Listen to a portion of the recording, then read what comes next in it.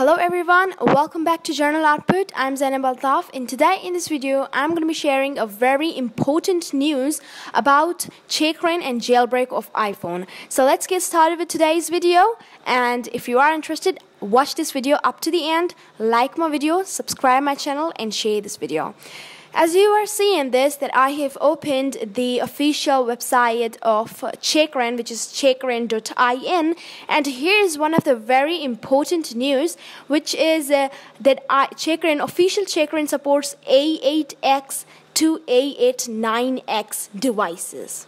So I'll show you a full list of it, that which iPhones does this support. So let's get towards the list. Here uh, I'm going to show you whole list.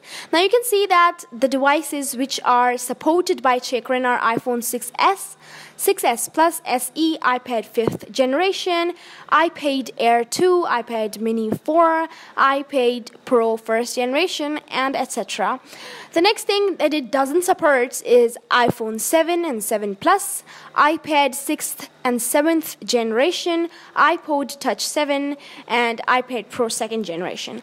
The next thing that devices also does, are not supported by checkra1n are iPhone 8, 8 Plus, and iPhone X. It just proves that it does not support the iOS 14 and does not support the latest version of iPhones.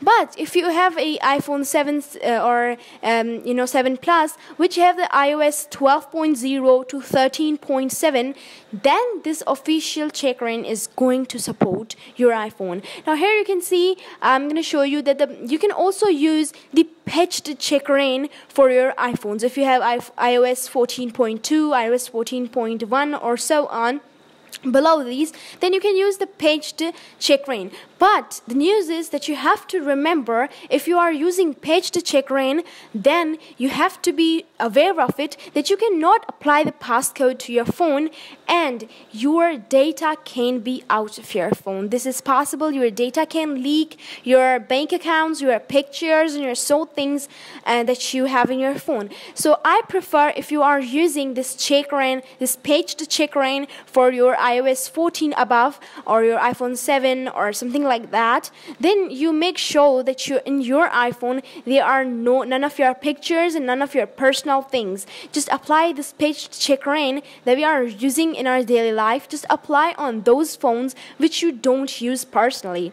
So this was the news about checkra1n that I wanted to share with you guys. I hope that you learned a lot from my video and I hope that you guys um, gonna like this video you're gonna share this video so that as many people can um, like this video as many as people can know this about this checkra1n news. And I hope that you guys understood my thing. And thank you for watching my video